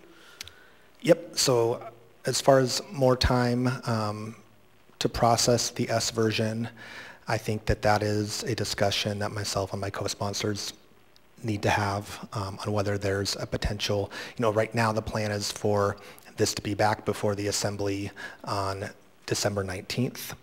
Um, and, uh, you know, I realize some of the community councils change their schedules with the holidays, for instance. Um, so I, I, do think that that is something that we need to contemplate. Um, on the setbacks, I think there's two sides of the coin there, right? Um, if you can build the same size structure but have less units, why should that why should that structure have less of a side uh, of a um, a setback? And I think with the conversation centered around the character of a neighborhood, well, the goals of this ordinance are to align the scale of triplex and fourplex with single family and duplex. Um, so while I say, you know, maybe the setback is not the biggest game changer, and I, and I think that's true, I think the question then should be, well, should we have a 10-foot setback for a single-family home or duplex? Why the bias in our code toward single-family home and duplex if it's the same size building? Um, and then on the ADU, um, calculating uh, ADU uh, as part of density, I think that's sort of um, outside of the scope of this ordinance.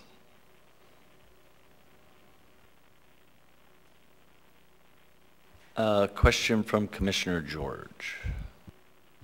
Thank you, Assembly Member. I, I appreciate the feedback, and um, you know, it got me thinking about how in the S version, uh, the small multifamily dwelling is removed from R3 and R4 because it, on the table, would mirror the multifamily dwelling requirement that's already in the table. So the 6,000 square foot minimum lot size, uh, the 50 foot width, and you know the five foot setback, it, it mirrors essentially what's already allowed there.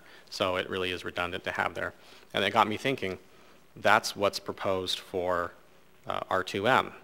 So essentially the same thing in R2M, and here we are reducing the minimum lot sizes and increasing the DUA, dwelling units per acre. Um, and it really gets me thinking, why do we have R2M and R3? Why isn't it all just R3? You know, if you can build the same thing on the same 6,000 square foot lot in both neighborhoods, what's the distinction?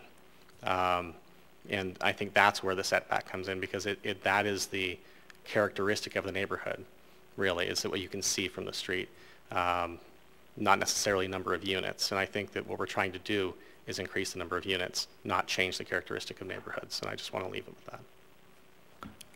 Uh, can I respond to? Um, oh, please. Yeah, I, I, certainly appreciate that. Um, just to be clear, we are retaining the same front setback, so that 20 foot, and the same rear setback of 10 feet. Um, and definitely open to the recommendations of the commission on the side setback. Um, in terms of R3 and R2M, R2M and R3 are both included in the compact mixed residential medium land use designation. Um, there is other assembly pending le legislation on consolidating some of those zones, right? Um, I think that one of the big differences between R2M and R3 is that already in code, if you have a lot size big enough, up to an eightplex is allowed in R2M. You can go beyond that in R3. Um, so uh, again, you'd, you'd, you'd, have to have a lot big enough in R2M to create an eightplex, and we're certainly not saying that an eightplex should be able to be built on a 6,000 square foot lot. It's just that, that triplex and fourplex that we can kind of consider small multifamily we think can fit into the scale of those established neighborhoods.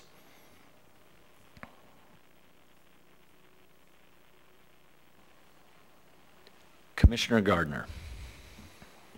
Thank you. Um, going back, I guess, to Commissioner Eber's question about um, timing and availability of, you know, additional um, public kind of processing and ability to respond to the newest version. And it, it, was just thinking through what the process might look like. And I think your, your answer suggested that maybe you were interested in speaking with co-sponsors about um, potentially providing additional time. And I'm just curious for what your thoughts would be that, um, well, first, I don't know how, you know, likely you, you see that um, being as you stand here today. I, I, gathered from your comment that you were interested in having discussion but not really wanting to commit to anything, which is fine. Um, but assuming you do go that way, do you see that then kind of coming back to us? And I'm wondering if it makes um, just what it would look like and you know so that we're not kind of ping-ponging back and forth in some fashion and if, if you do see that as a likelihood if it makes sense to kind of uh, or, or maybe the question is what would be most useful for the assembly in terms of our fact-finding and review and comments um, if if you're thinking that more time might be warranted Yeah, thank you for the question. Um, so I think what myself and my co-sponsors would greatly appreciate is um, the commission's feedback on the S version now that you've seen it. Um, and I, I, think we are pretty committed to, to that S version um, with the one amendment that was mentioned um, potentially on, on restoring the snow storage requirement for four units and up. Um, I, I, think if, if we were to grant more time um, and to postpone on the 19th and maybe put it out to the first meeting in January, that would really be an effort to solicit further feedback from um, the community. And I think between your feedback on this S version and, and feedback on the, from the community, um, we could potentially make other necessary amendments reflective of that.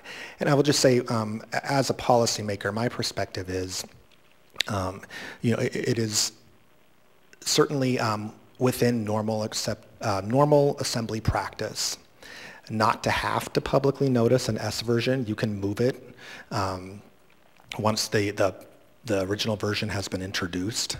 Um, and you don't also have to publicly notice in advance um, amendments. Now, the community doesn't always like that because there's changes that they may not have been aware of um, that impact them potentially. Um, so I think that may, you know, a longer time frame may also allow, um, in addition to the public to be able to digest the S version, also for us to craft um, any other amendments that are reflective of your feedback or the feedback from the community. Thank you. I, I have a question. Um, most of the public testimony in opposition or com complaining or talking about time frame are from areas that they were worried that they were affected by this ordinance, but they mainly represent areas of town where R2M R3, R4 don't exist. What I didn't hear was testimony in opposition from Spenard Community Council, Turnagain Community Council, or South Addition, who tends to be very vocal. South Addition is affected by this, and you represent them. Do you have any feedback from, have you heard feedback from those areas, or do you know why none of them? And, and I guess also speaking to the, the S version seems a little more tame than the original. So I don't necessarily know that if we didn't get comment on the original version, that the S version would draw out a bunch more comment. Um, so, but to back to my original question, do you know why those other communities aren't here? I did a presentation at the most recent South Addition Community Council meeting. Um, that was on Thursday night. Um, I will say there was mixed feedback. I think people do have concerns about this legislation in that neighborhood. Um, I heard concerns about parking. I had heard concerns about side setbacks, um, concerns about landscaping. I think there's also, I want to say this delicately, I, th I think we have so many zones that it is sometimes difficult to know all the nuance, nuances of all the different zones. I think one of the most unfortunate things about R2M zoning is the 2 in R2M, because I think that some people think that 2 stands for duplex. And that is certainly not the case. You know, already in much of our R2 zoning, we have multifamily, we have townhomes, um, we have different types of housing. And that's also what the 2040 land use plan calls for, um, is that sort of blend of, of housing needs. So I, I, think having people um, be able to process our adopted plans and, and revisit those is important.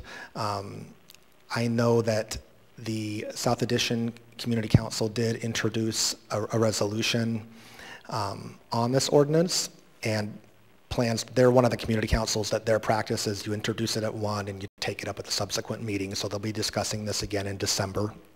And, you know, whatever the outcome of their um, deliberations is, you know, whether they are for or against, I will plan to include that as part of the public record in our an assembly memorandum to go along with the ordinance.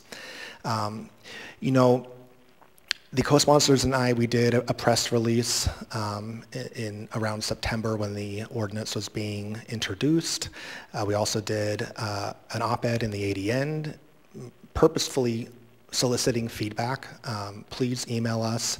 So we have tried to get the word out there to the community about these changes and our intentions behind them.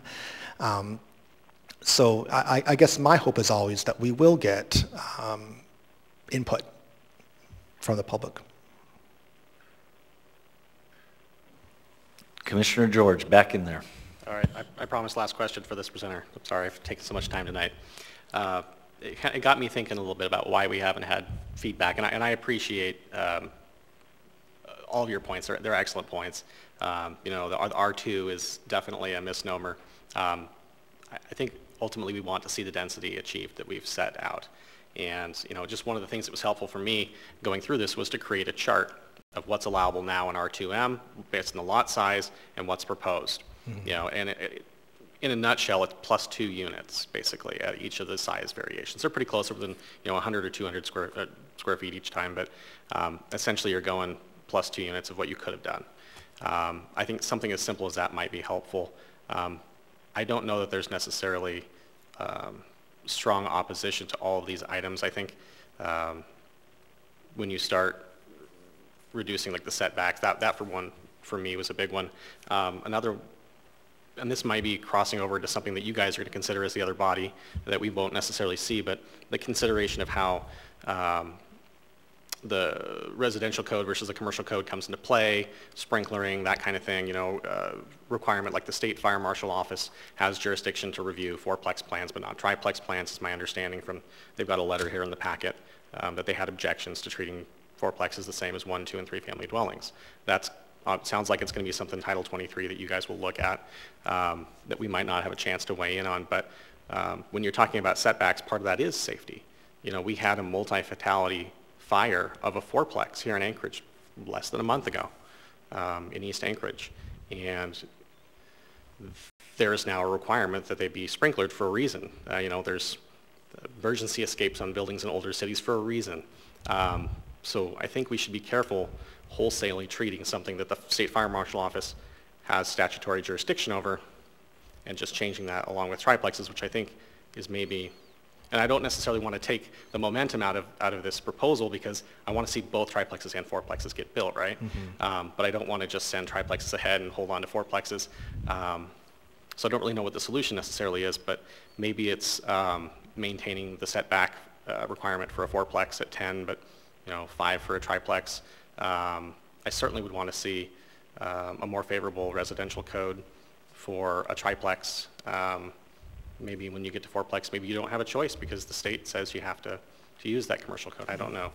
Um, but I hope that that's helpful feedback. I don't know that we'll have a chance to make um, these changes and vote on all these various items here tonight. So I think what I'll likely end up supporting uh, the amendment, uh, excuse me, the ordinance and sending it forward, but with um, some of these thoughts in mind so that uh, the assembly can consider those.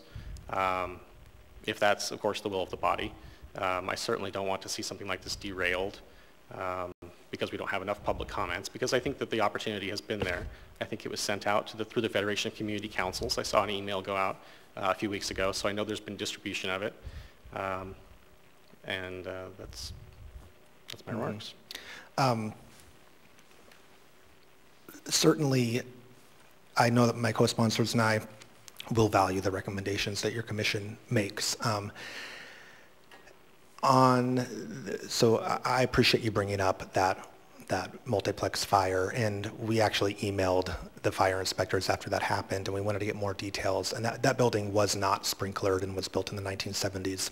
Um, our Title 23 ordinance, which is forthcoming and is being introduced on the addendum tomorrow evening, it does not remove sprinkler requirements for triplex and fourplex, but it does right-size them. Um, uh, essentially, the fire inspectors said, here's a less expensive type of sprinklering mechanism that we feel would be safe enough to use in small multifamily. Um, so I, I have really um, appreciated their input on, you know, one of the, the things that I've been saying is I don't want to throw the safety baby out with the overregulation bathwater. We have a question from staff. Uh, I was just going to clarify that the state fire marshal um, uh, does the inspections um, outside the municipal fire service. So if you're in Eagle River or Chugiak or in Girdwood, then the inspection is for certain types of developments are uh, done by the state fire marshal. But um, uh, within the municipality, which is the focus, was where this ordinance would be in effect, um, it's, it'll always be um, municipal fire plan uh, review, fire prevention. And, um, and then they also do the pen and paper reviews for access outside of the municipal uh, fire service area. Thanks.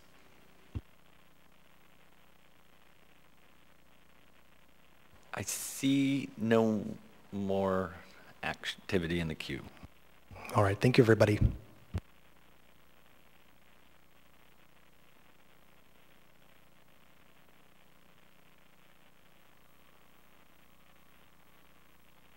Now we will close the public hearing. What is the will of the body? Can I ask a question? Yes. What are we voting on? So we have the original, we have the S version with a couple criteria from the original, and then we have Amendment 1 and we have Amendment 2. What is the process there? Um, I believe the S version is what is intended to be moved forward. Then in the back of the S version, there's Amendment 1, which has basically been kind of canceled. Uh, Amendment 2 reinstates snow storage, and that is suggested that we consider moving that forward. Um, there's also the comment from Chris Schutte and Cook Inlet Housing about a suggested amendment to Chapter 2 DCM to exclude three and four units. That would be a third thing to consider. My suggestion is maybe we do a main motion with some amendment motions so these can all be voted on separately. Would, that would be my suggestion.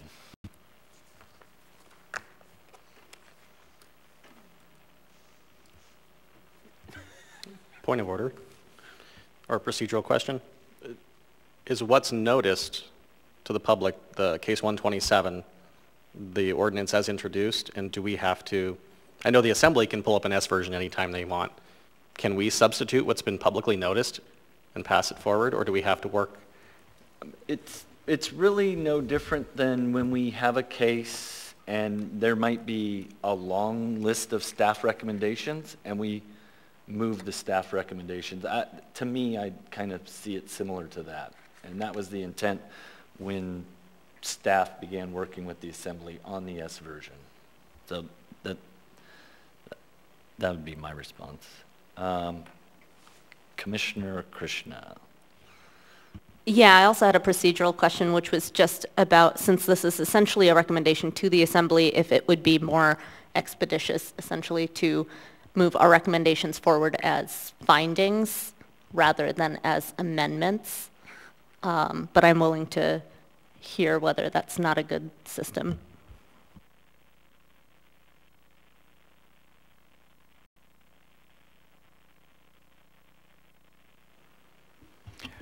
Uh, through the through the chair, um, uh, Ms. Krishna. I think, uh, so tomorrow morning I'll write the resolution, which is the written form of your recommendation tonight. So you're going to recommend, um, uh, you know, uh, uh, move to approve um, the S version um, in the affirmative and um, then decide if you uh, want to make any changes to it or recommend approval of it wholesale, and then you'll make findings um, separate um, in support of that, and you could make a finding at that point uh, about the DCM or whatnot, um, whatever you choose. But I, I don't think that there'll be, there'll be a, a difference between findings um, and recommendations. I guess I'd just add that findings, any of us could make a finding. That doesn't necessarily mean the rest of us agreed or disagreed to the finding. So if we wanted to send a message that, of what the commission thought as a whole, I think it should be done with a motion.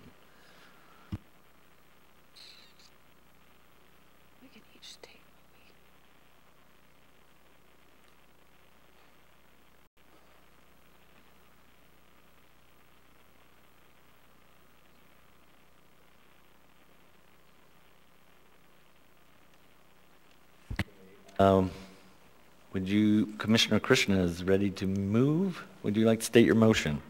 Sure, I'll get us rolling. I move in case 2023-0127 to recommend to the Anchorage Assembly approval of the proposed Assembly Ordinance 2023-103 S version for three and four unit development. Seconded by Commissioner Gardner. Ms. Krishna, would you like to speak to your motion? I would, um, and I, I do first have some comments to make about process. Um, you know, I'll, I'll, push back, I guess, against uh, some of the comments and discussion we had here earlier and say that in my experience on this commission, this is a relatively high level of public participation. And I believe that we had um, many substantive comments during this process that help, will help us craft a recommendation that will have some um, effect, I hope. I also really want to thank staff for their work in bringing us um, a version that in, you know, my eyes is substantially improved from the one that we saw two weeks ago um, and much, um, much closer to being something that we can recommend approval of and that we um, can believe will have minimal unintended impacts on code. So those are my initial um, comments, and I welcome uh, amendments.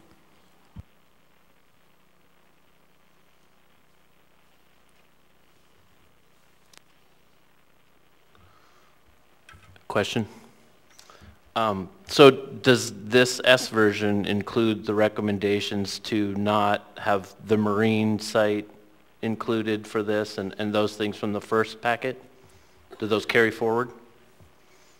Uh, through the chair, um, uh, Commissioner Polis, uh, the uh, Assembly's S version um, accepted uh, all of the recommendations that were in the staff um, report.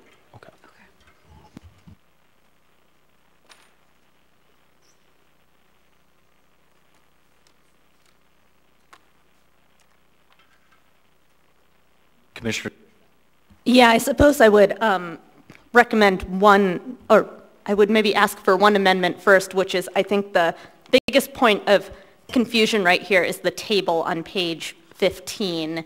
And I think that um, the first amendment that would be helpful is clarifying that uh, this is the table we would like to recommend with the um, essentially folding in the small multifamily dwelling um, items, but just folding those into multifamily. Someone else can figure out how to word that. But my understanding is everything that's listed in this table as small multifamily uh, as a permitted use is intended by the assembly, but um, the small multifamily category itself is not meant to be moved forward. Mr. Chair. Yeah. I'm sorry it was unclean because I, uh, am speaking up, but I request to speak. Um, so, uh, Ms. Krishna, uh, I would ask uh, that you um, uh, withdraw the motion. Uh, let me explain.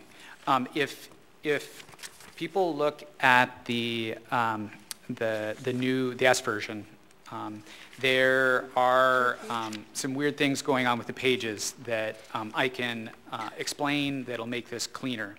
If everyone turns to page seven of your, um, of your packet and look in the middle of page seven, uh, section three, it says in this new S version that the table of allowed uses is not amended. The table of allowed uses is not amended.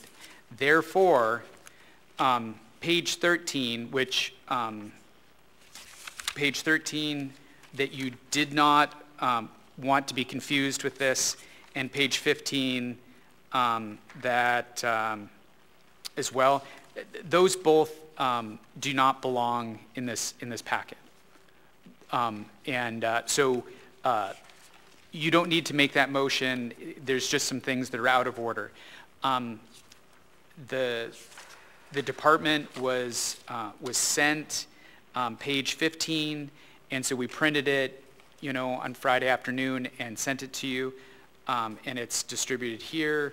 Um, but that, that, that page should be removed. Um, that's, that's, that's just removed. And then page 13, um, that um, is in the wrong order. That should be behind Volland Amendment 1, which um, Assemblymember Volland has stated that he does not want to forward uh, at this meeting. Um, so uh, what tables are being included? It's the one that was um, shared, um, this, this table, uh, the table of dimensional standards is the only one um, that is, is it, at issue with this S version.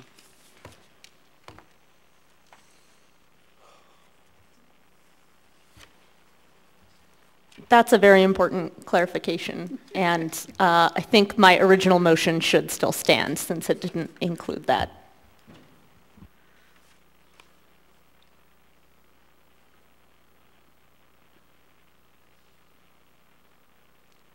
Okay, we have a motion on the table. There's discussion around a couple amendments, but I don't see anybody jumping in. Or is anyone else wishing, I, I'm generally ready to support the motion, if that's the will of the body. Or we can make some amendment.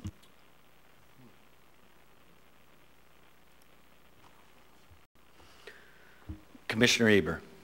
Um, in general, I tend to support the motion as well. I think my only holdback, and it's not going to hold me back from voting either way, is the setback. I'm not huge on changing it down to five, but I mean, that's just my recommendation. Uh, I guess I'll jump in and say, I, I've heard this setback thing quite a bit. Um, and I had a few things to say most of the lots we're talking about, uh, Assemblymember Volland made mention to some 3,000 lots. Most of these lots are 50 feet wide by 135 to 150 feet deep. Um, by having 10-foot setbacks for four units on that lot, you limit the building width to 30 feet. It seems impractical Uh, yeah, but you have a 20-foot front yard setback and a 10-foot rear yard setback, and in theory, you're probably going to have more than 10 feet from the rear yard because most of these lots have alleys. That's where your parking's going to go. So you're probably going to be taking 30 feet off the back, 20 feet off the front. So now you're getting down to a 70 by 30 building. I don't know that we, I think we've maybe taken the fourplex off the table at that point. And so for that reason, I would not support an amendment to the side yard setback. Um, as was stated several times, and I, I, mentioned in the work session, I meet with people all the time and I tell them, well, you're a lot better off building a large duplex than four small units. And that kind of goes away from the intent of how this conversation got started, which was we need to get smaller units, different size units, and diversify the housing stock. So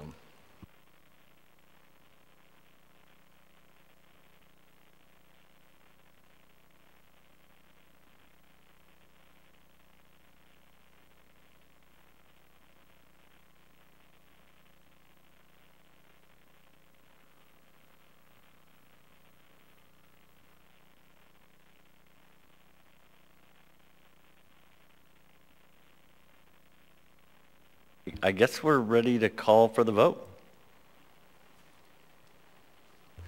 Mr. Strike, how do you vote?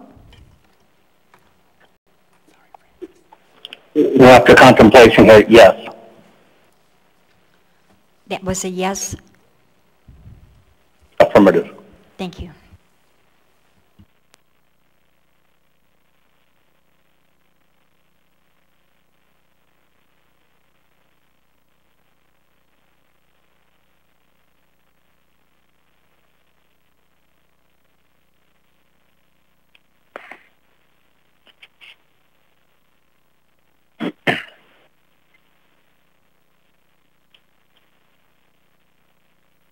Motion passes.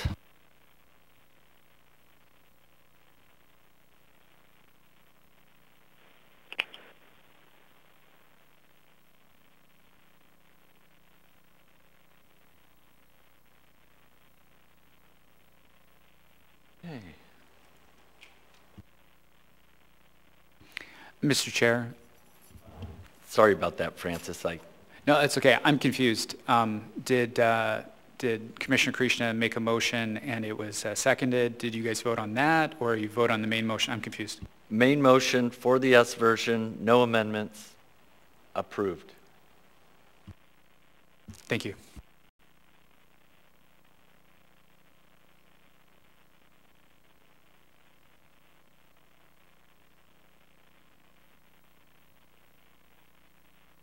And Jared, Jeff, and Scott's reappointments were confirmed by the Assembly. Congratulations.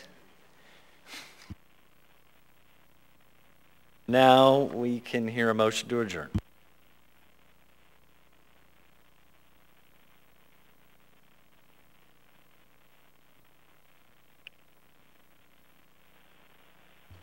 Do we have another meeting scheduled?